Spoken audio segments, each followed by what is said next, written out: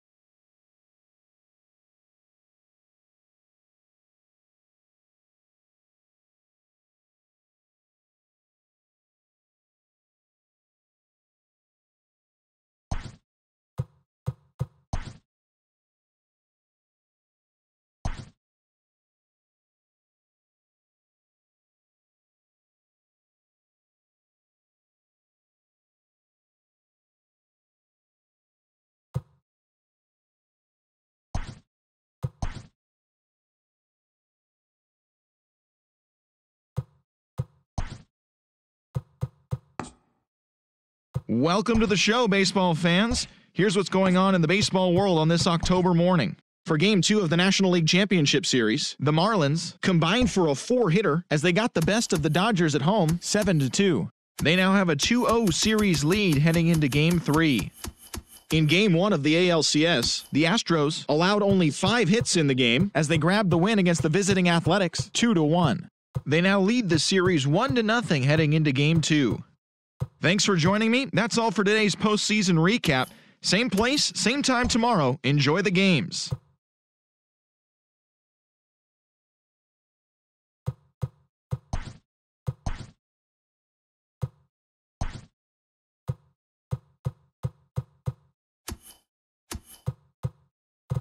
Welcome to the show, everyone. Thanks for making us a part of your morning. Let's jump into the latest news from around the Major League Baseball postseason. For game two of the American League Championship Series, the A's got 12 hits in this one as they got a win over the Astros in Houston 7 2. They've now tied the series at one going into game three. Thanks for tuning in today. We'll be back here tomorrow and all postseason long.